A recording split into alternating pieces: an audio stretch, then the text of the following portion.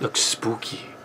That's, oh yeah. So this is Kal Kat, the Kal Katster, and uh, yes, uh, birthday thing episode. So we're watching. Uh, just got done watching an hour-long Transformers adventure called the Transformers uh, Combiner Wars Prime Cut. Um, on the Sith Library and Archives website.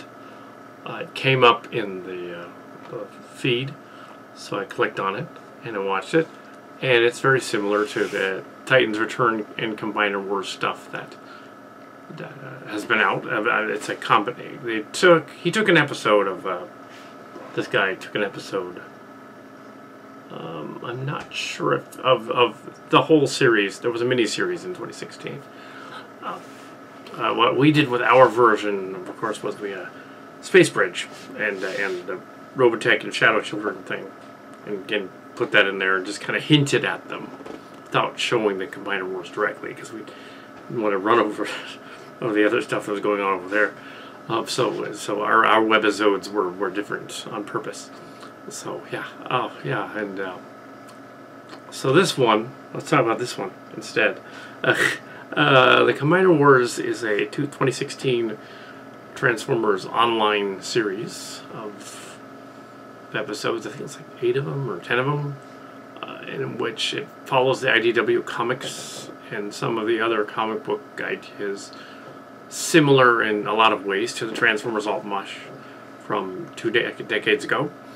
Uh, obviously, the people doing the comic book now have were either a part of it or were fans of it. This person apparently is too. The Sith Lord, uh, Sith, Sith Library and Archives. Uh, it, uh, let me see. This guy's um. I don't recognize the name. Uh, the guy is Dark Side Studios. To Lucasfilm and Hasbro. Creative Commons license. What's the guy? I think he give his name here. Let's see. What is it? Um. Where's his bloody name? What is that? Oh, Fred Howard. No relation to the guy from Transformer. Much, I don't think. Super guy. Fred Howard. No relation to the other Howard. Um, yeah. Uh, it would be weird. Um, no, it's not him. But it is interesting that it, it has a similar elements. Um, could be his son, I guess. It's 20 years later. Um, but maybe. Uh, but yeah, I don't have any of his other stories or anything. But this was an online uh, film, about 51 minutes long, uh, compilation of the 10 episodes into so it's into a little film. Uh, premise of the story is that the uh, it's a thousand years after the Great Wars, as depicted in Transformers, the the War for Cybertron, and uh, and uh, the the one where they get to Earth, uh, Fall of Cybertron. It's ten years after that, so it's, it's supposed to be thousands of years later. Although, strangely enough, in that continuity, it's not really thousands of years later because we've got Rodimus and Starscream and Computron and Menasor, and uh, and of course the fan film character Windblade, controversial character, and also we have Victorion, the uh, combiner, the female Autobot combiner, as well. Uh, the only one that's all different, same color. Toy that I did not buy, but probably should have because it's kind of cool. Um, but uh, I saw her at conventions years ago and didn't get her. Uh, I have a lot of the combiners, but not all of them. Uh, yeah, I have Menasor and I have Devastator, and I have a third of the aerial bots. I have Scattershot, and I have all of the Combiner War uh, uh, uh, Terrorcons, and the, but they were a little later. They were Titan's Return, um, but I have not opened them. They're still in the I have the Combiner Wars Titans Return Grimlock and his Dinobot uh, former too.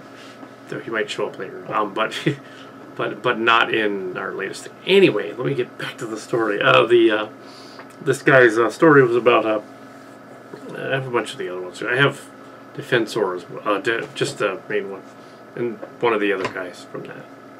Ironhide, I think, and uh, some of the other ones. Uh, one of the evac or whatever. Uh, so yeah, uh, I have some of them. This is why in my stories they weren't uh, together. They they weren't all in it because I didn't have all.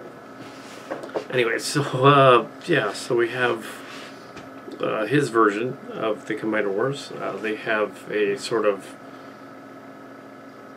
it's a distant future, assuming that it's in the timeline chronology. It's after Earth and stuff, thousand years later to three thousand. It doesn't really say, uh, and uh, it can't be that far off because some of them are in it.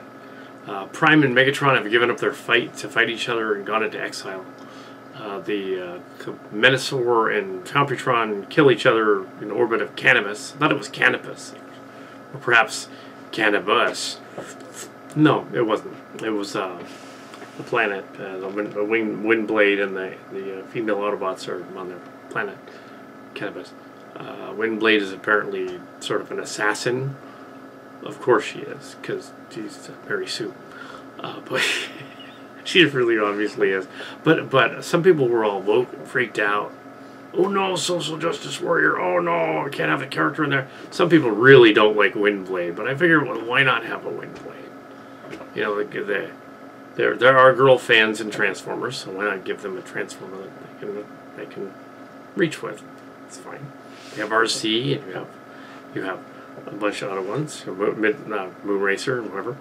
Uh, so why not have uh, other female Transformers? Even though it really doesn't make sense for them to have gender, but because they, they wouldn't really reproduce.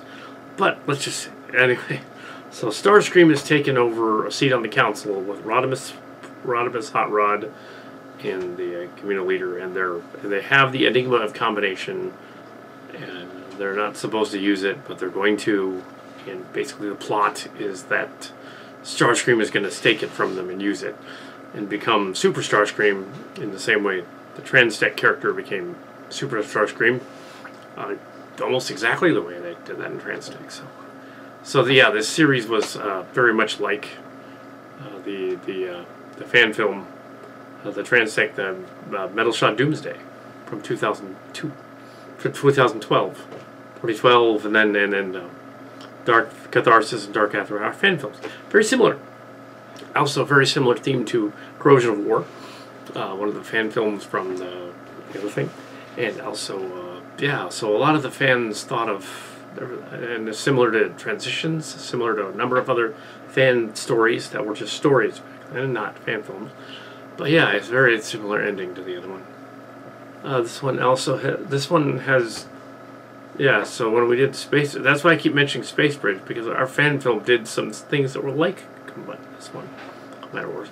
Uh, uh, but we had to not do exactly that. So instead of having Super Starscream show up and, and get beat up by Metroplex, we had to have uh, well him fight first fight Devastator in one episode, and then fight Fortress Maximus, who had been possessed by the by the evil darkness character.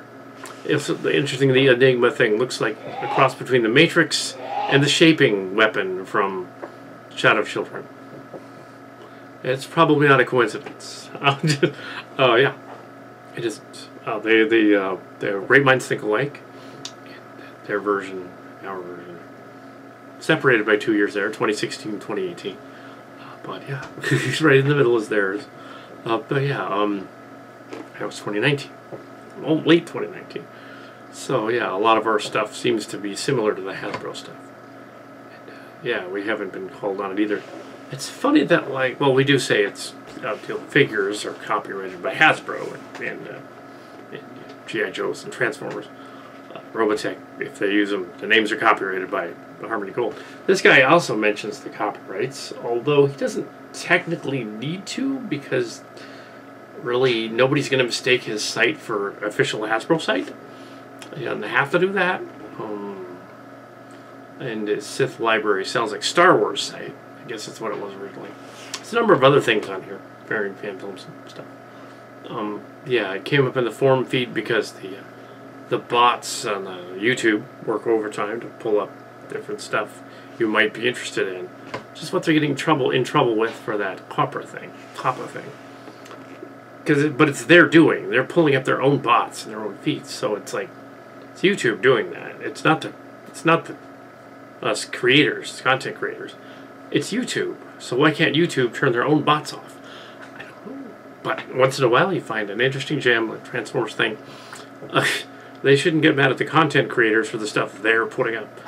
True, there are some people gaming the system, but they should be able to turn them off. Um, but yeah, this guy's not gaming the system. He has. Um, it, it's uh, the Combiner Wars. He just edited it as a as a, his version. Um, kind of cool. Uh, it's similar to Transformers Prime animation wise, but it's flash animation. It's a little different. Uh, reminiscent of the Transformers Bumblebee spin-offs and the uh, and the and Cyberverse that just came out last year. Uh, I haven't seen very much of that. Um, the toys look cheaper. Um, but yeah, now there's Siege. Transformers Siege is the latest one. So it's a sequel to, to the other two. They've jumped ahead of the Cat parodies. It takes us a, a long time to put one together, but then when we do put it together, it takes a week and a half. Yeah, yeah, and the next one is in production. So yeah, yeah we're doing another one, but it's not going to look like this. A little, little bit visually like. Uh, kind of a goofy version of Dark Transformers universe, or whatever.